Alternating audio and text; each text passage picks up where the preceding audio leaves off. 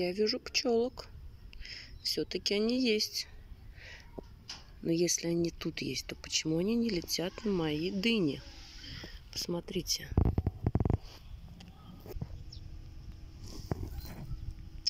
Что я за ними не успеваю. Она так быстро это делает. Я просто за ней не успеваю. Просто наблюдать не успеваю. Камерой водить за ней не успеваю. У меня вот так вот дыня пылять не получится, конечно. Тут надо уметь годы тренировок. Родиться, можно сказать, с этой целью. Так, ну ладно. Попробуем. Значит, что? Раз не идут на мед, значит, это какой-то неправильный мед. Возьмем, попробуем приманить на другое, на клевер. Вот так вот. Раз они есть, значит, они должны прилететь ко мне. Туда должны. Что-то ж мне надо придумать. Потому что я не могу работать пчелой. У меня своя работа есть. Я пойду на работу в понедельник. Кто будет опылять мои растения? Вот эти вот. Вот сейчас вот так вот. О. Вот так вот. Давайте, летите теперь сюда унюхайте и летите.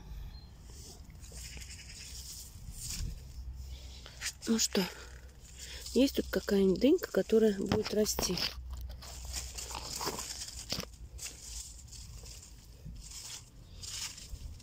Мне кажется, хоть одна-то должна... Хоть одну дыньку-то я должна была пылить. Не может, чтобы у меня вообще не получилось.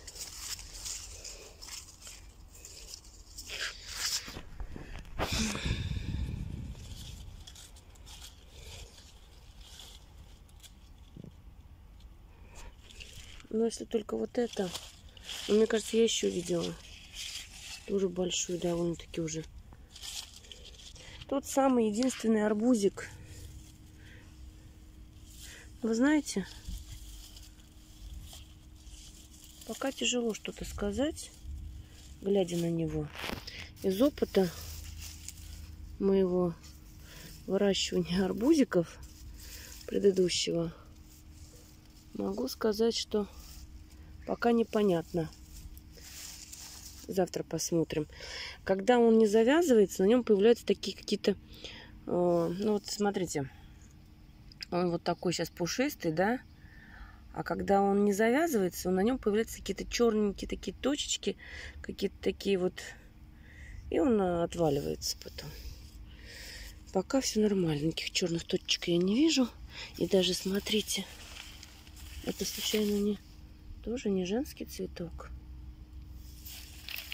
Нет, по-моему, просто что-то. Ладно, будем ждать еще женских цветочков. Хоть бы один арбузик завязался, а? Так, 11 апреля. Они были высажены у меня все на рассаду, но алтайская пораньше взошла, лакомка медовая, не пошло дело, я их пересаживала попозже зашла. Еще была дачница торпеда, которая благополучно не пережила ничего. И то ли корневая гниль, то ли еще что-то. Но все они у меня и арбузы, и дыни. Поэтому это уже новенькая посажена. Взамен тех, что утрачены. Но вот эти выжили. Выжили. Выжили и растут я высадила в грядку и закрыла черной пленкой. Вот здесь вот черная пленка. Под низ я положила сюда э, солому. Ну как? Ну, солому, да. Траву. Солому.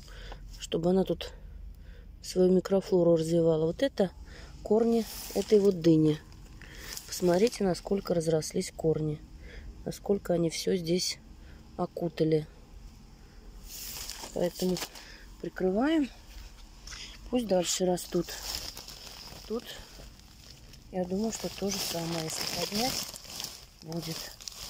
Тут вон мицелий какой-то. Не знаю уж какой.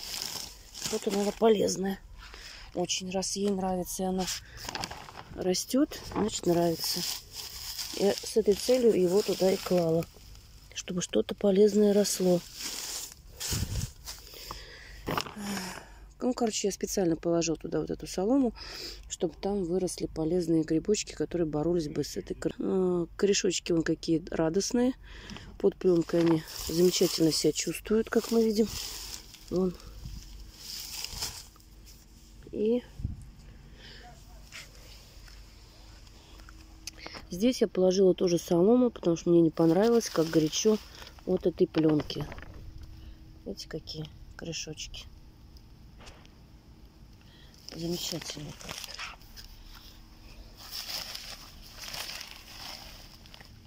Вот. Специально заселила туда и травку. Триходерму делала живую, так сказать, сильную палочку. Там я раскладывала гамаир и сильную палочку, как вы видите. О, муравьи. Сейчас я их потравлю. Достаточно купить хорошее средство и им воспользоваться. Где они у меня тут были? На месте муравьев не будет. А я-то думаю, что он не растет? А это они, вот видно ему тут. Я периодически сыплю, но... Ну, значит, сено и мульча травы, которая была... Я ее положила, она чуть припрела, начала работать. И, видно, справляется с этой корневой гнилью, раз все начало расти. Вот все-таки все-таки вот эти гамаиры, это все непонятно что. А вот свиная палочка, которая в сене, в траве, вот это дело. Хотя говорят, что сильную палочку вроде как надо на листья. А, триходермин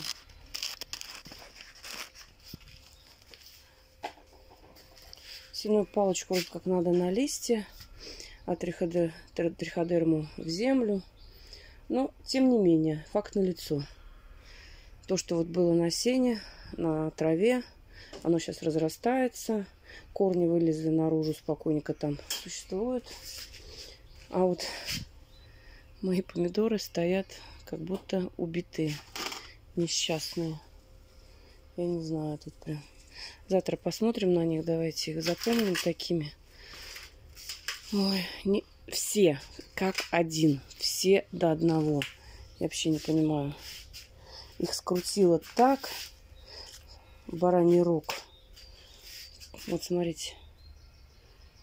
Прям это видно. Я думаю, что это дозреватель так на них подействовал. Что-то он делает с ними, ломает их систему переламывает, и им не очень от этого хорошо. Ну, больше я пользоваться им не буду. Что-то мне не нравится их вид. Посмотрите. Все как один. Полностью. Все до одного. Они стоят. Такого я еще не... У меня такого еще никогда не было. Первый раз. Первый раз всегда все бывает что-то в первый раз. Ну ладно, посмотрим, чем это закончится.